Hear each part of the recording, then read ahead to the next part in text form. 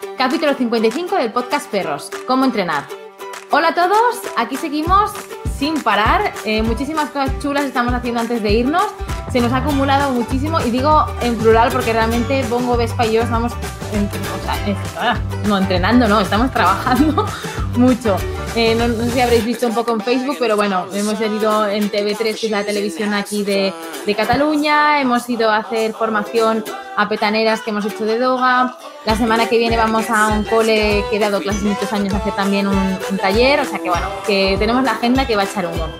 Y bueno, antes de que se me olvide, eh, la semana que viene no habrá podcast el martes, sino que va a ser el jueves a las 4. Lo digo porque luego se me va a ir de la cabeza y no me gustaría que estuvierais esperando aquí. Igualmente, yo como siempre publico el directo, publico el, recordatorio, ya lo pondré para jueves para que nadie se olvide. Y bueno, soy Patricia Guerrero de Pata Educadora Canina, por si no me conocías, y que sepas que ahora mismo se está retransmitiendo en directo en Facebook. Lo digo porque cada martes, excepto la semana que viene, que será el jueves, nos vemos a las 4. Y será esté donde esté y sea como sea, porque dentro de nada de dos semanas, chicos, dos semanas, es que lo digo y me pongo nerviosa ya. Tengo unas cosas en la barriga que, vamos, estoy muy emocionada. Empezamos la expedición Canina Sur, es decir, nos vamos a recorrer 14 ciudades de España, cada uno haremos un curso. Bueno, Madrid es el primero y luego ya la siguiente Salamanca, lo digo porque que quedan plazas para que os podáis apuntar. Y bueno, como no me quiero ir sin despedirme, todo aquel que quiera que esté cerca de Barcelona, que sepáis que este domingo, 4 de febrero, a las 10 de la mañana hasta las 12 más o menos, estaré en la playa. Eh, hay un restaurante que se llama Bu, que está dentro de la playa, eh, que es la Nova Marbella, y estaré por ahí. No estaré exactamente allí porque espero que vengáis muchos de vosotros. Estaremos un poco por, por allí. Y habrá una sorpresa para los 20 primeros. No digo nada más, ¿vale? Porque he cogido 20 y, y serán 20. Así que si llegáis Espero que, bueno, yo creo que vamos a llenar la playa, pero bueno, que cualquiera que quiera, no tenéis que avisaros, venís y ya está. Tengo hoy una visitante que está molestando a la Vesponcia, ¿eh? Y al final te va a decir que, que pares. y que me desconcentro, sigo. vale, bueno, dejo de enrollarme con todo esto y ahora hablaremos de cómo entrenar a nuestro perro, porque está genial que os explique siempre cómo hacer, pero lo más importante es el cómo. Y vamos a ver eso. ¿Y tú qué? ¿Me vas a dejar hacer el podcast o no? ¿Guapa? Vale, empezamos.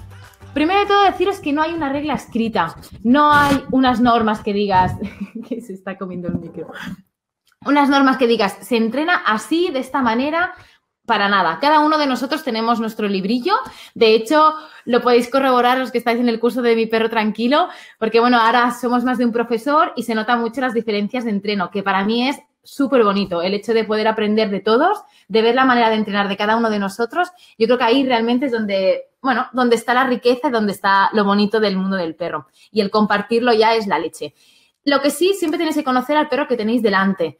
Ahora mismo tengo tres perros conmigo y con ninguno de ellos entreno igual. ¿Vale? Cada uno de ellos tiene, me está boicoteando el podcast, Alana, ¿lo veis, no? Cada uno de ellos tiene su manera de ser y tenemos que ir en, en, en consonancia a todo eso.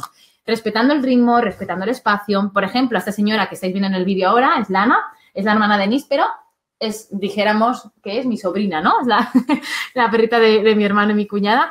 Y con ella, por ejemplo, es muy sensible. Entonces siempre tengo que dejarle más espacio. No puedo ir la manipulación le gusta mucho, como podéis comprobar, pero no como para entrenar. Por ejemplo, con Vespa sí que puedo premiar con refuerzo social, de jugar, acariciar y hacer un montón de cosas. Con ella, por ejemplo, no. Entonces, cada uno vais a tener que conocer bien bien el perro que tenéis delante y luego eh, entrenar en, en consecuencia. En consonante, consecuencia. Bueno. Luego, ir progresivos, que esto, chicos, os cuesta un montón, ¿eh? Y a mí la primera, os venís arriba enseguida. Eh, tenéis que ir paso a paso, o sea, empezamos por el principio, asentamos bases y luego poco a poco vamos complicando. Sobre todo las primeras fases es muy importante premiar mucho y dejar las cosas muy fáciles para que realmente eh, luego podamos ir avanzando. Ahora luego os hablaré de una cosa que yo le llamo el efecto soufflé, pero, pero bueno, ahora luego os lo explico. Lo que sí es eso, que tenéis que ir progresivos, o sea, empezar poco a poco e ir subiendo. Yo sé que yo soy la primera ¿eh? que me vengo arriba y que enseguida eh, veo que funciona y, oye, empiezo a complicarlo cada vez más. Pero esto lo único que provoca es que uno, el perro se frustre, que no entiende bien bien lo que está diciendo y que nosotros también, porque al final es muy frustrante el hecho de, que tu perro no te responda y que no entienda bien bien lo que le dices. O sea, al final aquí es una cuestión de comunicación, nada más. Tú tienes que hacerte entender para tu perro sin lenguaje humano, o sea, todo el lenguaje canino. Y el tiempo no se recupera, es decir, si hoy no he entrenado nada, no voy a entrenar mañana el doble. O esta semana, no, es que esta semana está súper liado, he entrenado muy poco, la semana que viene me pongo a tope y cada día voy a hacer tres horas. Pues no, no funciona así. Los perros tienen un tiempo muy limitado. Eh, mm, dependiendo mucho, ahora hablaremos del tiempo, pero dependiendo mucho del entrenamiento que lleven, pueden estar más rato o menos. Y eh, es importante que ese tiempo se adecue también a, lo que estás entrenando, a la dificultad, a muchas cosas. Así que no os flipéis, no os vengáis arriba, intentar eso, eh, hacer sesiones cortas, progresivo y realmente ir adaptando al ritmo de vuestro perro. Luego organizar las sesiones. Mm, yo, o sea, es muy chulo improvisar. De hecho, yo soy, vamos, yo improviso prácticamente siempre cuando estoy entrenando, pero eh, improviso ahora. Cuando estoy enseñando algo nuevo, eh, es importante tener un croquis de lo que quiero entrenar y cómo lo quiero entrenar. Porque luego, cuando tienes al perro delante, como os decía antes, el tiempo es muy limitado. Y si en ese tiempo tengo que estar pensando qué narices hago con mi perro, pues se pasa el tiempo. Mi perro se frustra, yo también, y al final es un rollo. Entonces, cuando vamos a entrenar, tenemos que tener bien estructurada nuestra sesión de entreno. Yo, por ejemplo, los que venís conmigo a los presenciales, sabéis que siempre voy con posits, porque aquí donde me veis, aunque soy muy online, me encantan eh, pues la papelería, los posits, y siempre que voy a las clases, yo, aunque luego en clase improviso muchísimo y muchas veces no sigo para nada el guion que me he preparado, yo siempre me preparo la clase. Eh, tengo nada en un posit, pongo lo que los ejercicios que voy a hacer. a veces incluso como mis cursos son de muy pocos perros, con cada perro me pongo qué ejercicio quiero hacer. Pero luego las circunstancias son otras. A lo mejor llegamos y de repente hay un montón de monopatines. Pues la clase se va a tomar por saco y hacemos otra cosa. Pero yo tengo preparado lo que voy a hacer. Y eso es lo que tenéis que hacer, sobre todo cuando enseñáis cosas nuevas. Luego ya cuando nuestro perro ya tiene un montón de cosas y entonces ya podemos improvisar, es decir, voy por la calle, te siento, ahora te tumbo, ahora se me ocurre que te pido que te pongas detrás mío o que te pongas al lado, pero eso ya viene con el tiempo. Luego los premios. Todos vais con, pensáis que el premio solo puede ser comestible y para nada. Hay muchos tipos de premio. De hecho, hay muchos perros que les motiva mucho más el refuerzo con juguete o incluso las caricias que la comida. Lo que tenéis que buscar siempre es qué motiva a tu perro. Como hemos dicho antes, cada perro es un mundo y tenemos que buscar qué le motiva. Yo siempre pongo el ejemplo, que seguro que me habéis oído decirlo, con Níspero cuando entrenaba al olfato lo hacía con unas semillas de los árboles, porque es que al tío no le motivaba nada más, ni pelota, ni juguete, ni nada. Las semillas, pues nada, lo hacemos con las semillas. Y con eso, pues con todo. Realmente tenemos que ver qué motiva al perro que tenemos delante. Y luego el tiempo, que aquí también Mm, todo el mundo es la pregunta estrella. ¿Y cuánto tiempo tengo que estar? Porque yo voy muy ocupado. pues deciros que el tiempo de entreno eh, es poco. O sea, estamos hablando de que perros muy experimentados pueden estar media hora, una hora. Pero os digo, descansando, haciendo. O sea, realmente estamos hablando de 10 minutos entrenando entre una cosa y la otra. Pero os digo, yo no, no, me gusta hablar de tiempo porque es que depende del perro y depende de las circunstancias. Por ejemplo, cuando hace viento, es las peores circunstancias, o sea, las peores meteorologías el viento para entrenar con los perros, porque realmente se ponen muy nerviosos y se nota muchísimo. De hecho, los días que hace viento y hacemos clase, ¡fua! están un poco alterados. Luego, por ejemplo, la lluvia, si el perro no está acostumbrado a la lluvia, eh, el calor, el calor, bueno, ya lo sabéis, aplatana muchísimo. Entonces, realmente es, es una historia el hecho de que haga calor para entrenar. Entonces, eso lo tenemos que tener en cuenta. Así que yo os diría que no hay un tiempo estipulado, que depende de, tu perro y sobre todo darte cuenta de cuándo está cansado. Por ejemplo, yo cuando os grabo los vídeos de los cursos o los posts o lo que sea, yo sé que con Bongo y Vespa como máximo puedo estar dos horas, pero no dos horas entrenando todo el rato, sino dos horas entre que llego al sitio, pongo el trípode, estoy con Patri organizando la sesión, no sé qué, me graba, tal, eh, un juego, no sé qué, a las dos horas están muertos. ¿Vale? Y a lo mejor han entrenado 20 minutos, que son los vídeos que luego veis colgados. El resto del tiempo han estado oliendo, corriendo, em, bueno, paseando, han estado simplemente allí. Pero el hecho solo de estar en un sitio diferente, con olores nuevos y además, quieras o no, tú no estás pendiente, estás pendiente de la cámara, de hablar no sé qué, y todo eso también hace que se cansen. Entonces, tenéis que conocer muy bien a vuestros perros. ¿Vale? Yo ya os digo, yo sobre todo a Bongo y a Vespa los conozco muchísimo y sé cuándo están cansados. Y ahí no sigo. No sigo porque lo que voy a hacer es que negativicen eso. ¿Qué pasa si corres? Es decir, si te vienes arriba, no haces que sea progresivo, te pasas de tiempo, lo que vas a hacer, yo le llamo efecto soufflé. En la bibliografía no lo vais a encontrar como efecto soufflé, por supuesto. es una palabreja que me he inventado yo. Esto es cuando tú quieres entrenar tan rápido, ¿qué pasa? Que se sube, ¿no? Como si fuera un pastel, se sube arriba. Y como eres un ansias, abres el horno. ¿Y qué pasa? Pues que el pastel se va para abajo. Pues sería un poco eso. Si vas con el ansias de querer entrenar muy rápido, de hacer, no te organizarte nada, de hacer tiempos muy largos, lo que va a parecer es que tu perro sí que aprende, pero llegará un momento que tirará para atrás y parecerá que no, ha, no ha aprendido nada. Así que bueno, lo que sí que quiero, eh, después de todo este rollo, en resumen es que adaptes el entreno a tu perro y a ti también y que lo disfrutéis. Y bueno, espero que después de este podcast estructures un poco tus entrenos y sobre todo que estés motivado y que lo disfrutes. Así que bueno, os veo el próximo jueves, pero esta semana solo, acuérdate que cambia el día. Y eh, si no, ya nos veremos el martes. Y bueno, y si estás por Barcelona, te espero este domingo de 10 a 12 más o menos en la playa de la Nueva Barbella y no hace falta que avises. Ven, eso sí, si venís de los 20 primeros, tendréis una sorpresita. Si no, pues nada, solamente me veréis a mí. pues nada, disfrutar de la semana. A ver, ahora ya estoy con vosotros. Aquí. Vale, a ver, ¿qué me decís? Eh, Marco, hola, Alfonso, Alicia, Alex dice que no corramos, Etel, muchas gracias. Venga, ¿alguna pregunta con esto? ¿Qué me decís? Lana me ha dejado llena de pelos. ¿Cómo, ¿Cómo lo hacéis? ¿Cómo entrenáis vosotros? Venga, va, preguntas. Quiero preguntas. ¿No ha llegado? Aquí, Shirley, venga, dime. Uy, que me, ha dejado ya de pelo. Ahora. Ay, qué guay, que levantes la mano y todo. venga, dime. ¿Qué estáis ahí escribiendo que no, no os llega, ¿no? El... Lau dice, hola a todos, ya aquí yo al aparato. Nada, ¿no hay preguntas hoy? ¿O qué pasa? ¿O qué es que no llegan? Shirley, ¿estás escribiendo o qué? O espera, lo miro desde... Ahora, ahora. Ay, ya me extrañaba a mí. Juanja, hola. Dice, ¿cómo podemos hacer para si durante el entrenamiento se pasa de vueltas? ¿Es mejor parar o hacemos algo para relajar los ánimos? Primero, yo me adelantaría. Es decir, eh, no pasan de vueltas de 0 a, 100 en un momento, en un segundo, sino que tú ya estás viendo que eso está subiendo. Entonces, lo que puedes hacer es, uno, como tú dices, romper el ejercicio y hacer un ejercicio de olfato, por ejemplo, o dejar que huela o hacer algo relajante y luego volver o realmente intentar volver a la calma con el mismo ejercicio y ya parar.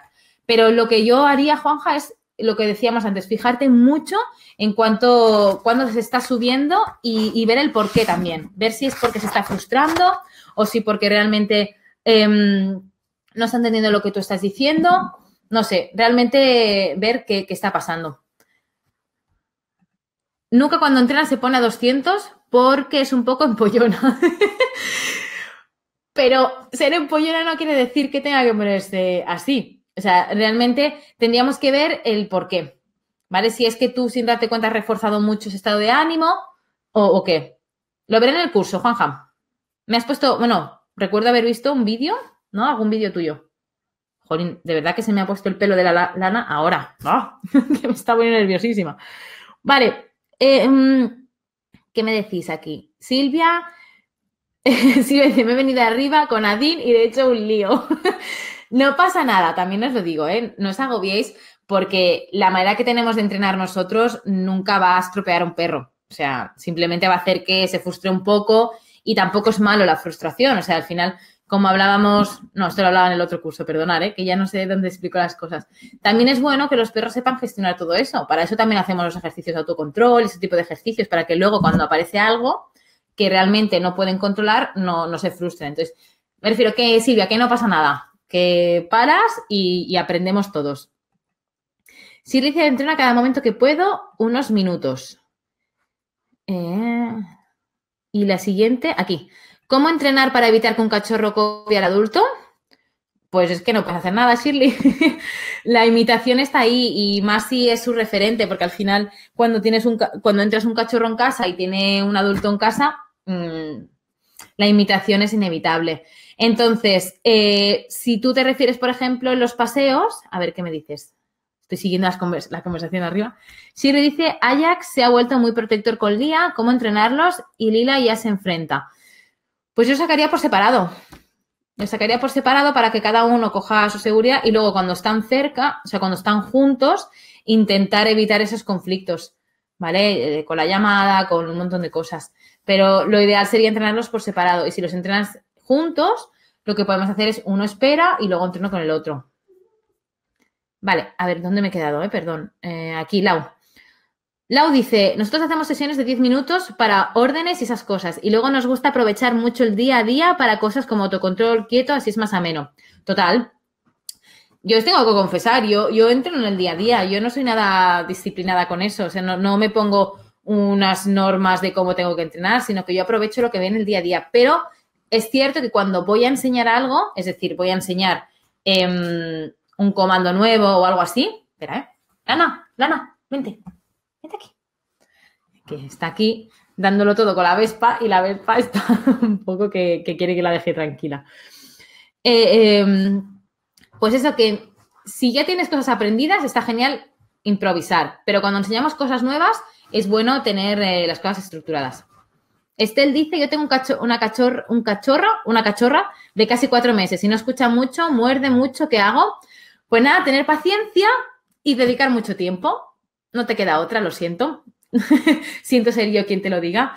Tienes una cachorrilla de cuatro meses y, y, tiene toda la energía del mundo y todo por aprender. Entonces, solo puedes eso, enseñarle a no morder, darle alternativas, socializar muchísimo y tener mucha paciencia. Pero bueno, seguro que la estás disfrutando un montón. Bárbara dice, hola, por fin te pillo en directo. Yo entreno con Tika, siempre con chuches, le motiva mucho, pero igual debo intentar alternar con juguetes. Depende de lo que quieras entrenar. Yo, por ejemplo, todo lo que es estático lo entreno con comida. Y todo lo que es más dinámico, como la llamada eh, o cosas así, lo entreno con juguete. Bueno, igualmente las estáticas, si yo, por ejemplo, hago un sienta, sienta quieto, puedo premiar con comida y luego rompo el ejercicio y juego. La verdad que el juego yo lo pongo en todo. Pero sí que es cierto que dependiendo de lo que esté buscando, puedo premiar con una cosa o con otra. Y también puedo premiar de una manera o de otra, con el mismo premio. Es decir, yo puedo premiar delante, puedo premiar de lado, o sea que ese sería el lugar de entrega. Eh, Juanja dice, a lo mejor no podemos bajar con Nuca, pero tenemos plan B para el curso. Está Oli, que está totalmente opuesta a ella. Hombre, Juanja, pero no es cuestión de, de, mostrar resultados. Yo quiero ver el proceso, que para eso estamos. Y para eso estoy, para ayudarte en lo que pueda. Eh, Silvia dice dónde puedo enviar un vídeo para que lo veas. Ah, pensaba que estabas en el curso. No sé por qué. Que tengo aquí mi lista de esto. ¿Veis? Mi lista del curso. Que muy online, muy online, pero os tengo aquí a, lápiz con el nombre de vuestro perrillo y todo. No, pensaba que estabas en el curso. Bueno, mira, normalmente los, los vídeos los miro en, eh, en los grupos privados que tenemos de cada curso. Pero bueno, si ves que se te apura mucho, me lo puedes enviar por mail. Pero bueno, que, que ponérmelo en los grupos, que luego me, me saturo. Sara, cariño, hola Pat, cuando hacemos entrenos durante los paseos, ¿es mejor hacer un rato de paseo para que hagan sus cosas y luego entrenar y terminar con paseo de vuelta o hacer paseo y varios entrenos espaciados durante todo el paseo? Vale, esto lo veremos en la... Sara está también en el curso del perro tranquilo. Os estoy preparando un vídeo todo del paseo, pero para que también tenéis un podcast sobre el paseo pero bueno, te lo resumo. Eh, para mí el paseo tiene tres partes. Bueno, primero, hay, para mí hay diferentes tipos de paseo. Una cosa es el paseo solo de pipi caca, o sea, solo de higiénico, pero lo que me estás diciendo tú sería un paseo de socialización, es decir, donde van a hacer sus necesidades, pero también van a jugar, van a ver otros perros, vamos a entrenar, es un poco, un poco un híbrido, ¿no? Tenemos un poco de todo. Yo haría tres partes en el paseo. La primera parte, que es un poco haz lo que quieras para que hagan pipi, caca, huelan, ¿vale? Acaban de salir de casa, que se relajen. La parte del medio, que sería más de la socialización, donde, donde juegan con otros perros, hacemos un montón de cosas, entrenamos, tal. Y luego la última, que es la vuelta a la calma. Que realmente ahí, Sara, con Pixel y Nisa tienes que ponerte las pilas para que realmente cuando lleguen a casa lleguen tranquilas. Sería un poco eso. Luego, los entrenos que puedas hacer, pues depende de, la, de dónde estés, de cómo las veas, un poco, ya te digo, aquí observando cómo son ellas. Victoria dice, cuando es entrenar ocupamos tres minutos, tres veces al día, tres por tres, pero si se distrae paramos para no confundir. Eh, a ver, ¿cuándo es entrenar? Ocupamos. O sea, porque yo siempre digo que hagáis tres repeticiones, no lo dices por eso. Pero si se, a ver, si se distrae, primero una, o estamos entrenando en un lugar que hay demasiados estímulos y no se acaba de concentrar. Dos, porque le estamos enseñando algo que, no, que es difícil o que es nuevo y entonces tiene que acabar de, de pensar. Pero lo que yo haría sería no hacerlo todo seguido. O sea, hago un ejercicio, juego, dejo, vuelvo, ¿vale? Porque si se distrae, o sea, si realmente el perro desconecta de nosotros es por algo. Algo estamos haciendo que nos estamos viniendo arriba en alguno de estos parámetros que os he ido explicando hoy. Estel dice, jaja. Eh, me dice, ok, al curso, gracias. Ah, ¿ves? Pues, pues eso, que estabas en el curso, ¿ves? A mí me sonaba. Sí, ¿no? ¿O me confundo? Sí, ¿ves? Silvia. Sí, Silvia Adín. Silvia Pozo Adín. Mira, te apuntaste la novena. Eh, vale, Juanja dice, es que a lo mejor nos pilla el cero a finales, pero con Oli trabajamos otro tipo de... Ah, tú dices para el, curso presencial. Perdona, Juanja, me había confundido con el curso del perro tranquilo. Perdona, perdona. Igualmente, como voy a estar ahí la semana, ya buscamos algún hueco de, vernos así. Y le cuesta más aprender, porque es más inseguro y le... vale, no perdón, ¿eh? Es que a lo mejor nos pilla el celo a finales, pero con Oli trabajamos otro tipo de cosas porque es más inseguro y le cuesta más aprender. Al final, Juanja, yo cuando vengáis al curso, el presencial, bueno, y los online, todos, lo que quiere, el que quiero que aprendas eres tú. Fíjate. o sea, me da igual con qué perro vengas. ¿Vale? Yo voy a, resolverte todas las dudas, vamos a entrenar y lo que quiero es que aprendas tú. Roxana dice, pa, tengo que sacar a Frida de mi cama. Las dos no queremos, pero vamos de a poco. Eh, ¿Te refieres a que duerme contigo y que no quieres... Tengo que sacar a Frida de mi cama. Ah, para, que no duerma contigo, ¿quieres decir? No, entiendo la pregunta. y Miriam dice hola. ¿Vale? ¿Alguna pregunta más? Veo que este tema ha molado, me gusta. Pues nada, chicos, eh, los que estáis en el curso, nos vemos todos los días. y el resto, acordaros que es el jueves que viene, ¿vale? Y nada, muchas gracias, que me ha encantado este tema, me encanta este tema, y sobre todo practicarlo y, y ponerme a tope. Y cualquier cosa, aquí estamos. Venga, hasta luego.